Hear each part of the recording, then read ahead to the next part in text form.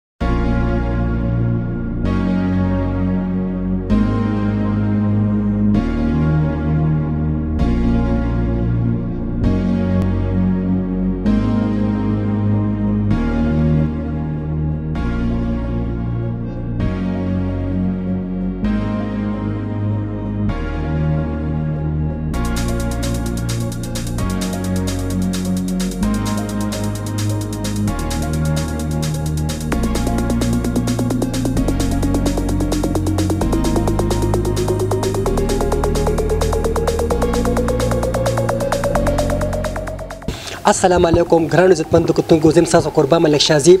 دا نن چې کوم فورم لراغلی د شمولیتي فورم دی مرکزی تنظیمی تاجران تاجر اتحاد سمال چمبر سابقه نائب صدر حافظ یو رحمان او سراج دالا په جماعت اسلامي کې نن شاملېږي ایزه ته ملمانه راغلي جماعت اسلامي مشران راغلي دي نو ورځو دي تقریب طرف ته او د اینه بعد بیا یو خوند وړنه فورم پک هم را جوړ کړل شوې دي او اخر کو پک بیا کی کم کټ کیږي نو ورځو دي فورم طرف ته او دا وخت ما سره سابقه نائب صدر حافظ یو رحمان صاحب هم موجود دي او وینه پښتنه کوو چې په دې موقع باندې سوې نه ده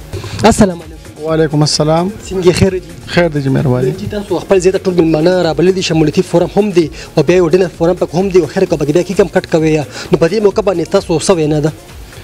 بسم الله الرحمن الرحیم د ټول مخکې خو د پښتون زیر زیاته شکریا ادا کوم او زه دا غینه پس چې سونه زما درانه خواګه د جماعت اسلامي کم مرګري راغلي دي زموږ د مرکزي د نظیم تاجران تاجر اتحاد چې سونه مرګري راغلي دا غي ټول زه ډیره زیاته شکریا ادا کوم چې هغه زموږ د شمولیتي پروګرام لراله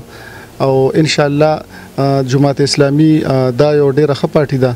او ښه په دې ده چې اوس چې کوم بزنس فورم دی هغه شروع کړی دی چې د هغې صدر پرویز بابو دی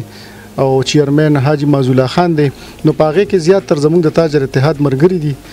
نو مونږ دا خواهش ظاهر کوو چې هسې مونږ خپل تجارت کوو او د تاجرانو زموږ یې کې هلې ځلې نو دې سره به زموږ هغه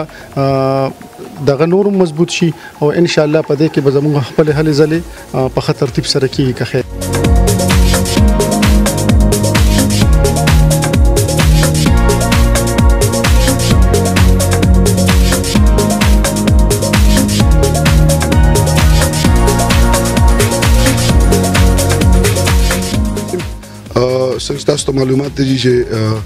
زمونږ پاکستان بزنس فورم د فورم د لاندې جمع اسلامي کوم د تاجرانو او د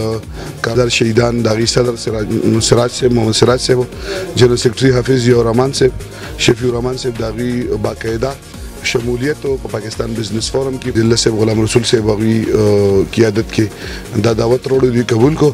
او زمونږ د الله نه دعا ده چې ان شاء الله دی کوم نیک مقصد د پاره په جماعت اسلامي کې پاکستان بزنس فورم کې شمولیت کوي قبانه چې حافظ یو رحمان شفیع الرحمن په جماعت اسلامي کې او په پاکستان بزنس فورم کې د شمولیت اعلان وکړو مونږ غوي ته خوش آمدید په خیر را لې وایو په دان د تاجرانو د خدمت لپاره د هغوی چې څومره کړمې دي مشکلات دي د هغې د حل لپاره هم یو مضبوط سپورټ په ان شاء الله او موږ د جماعت اسلامي ضلع مردان د طرف نه ټولو تاجرانو ته د مردان بلا امتیاز چې دا غوي سمره مشکلات په دې حواله سره معاشره کې هغه ته موجود دي موږ به ان شاء الله دا غوي سره څنګه پسنګ باندې ولاړ یو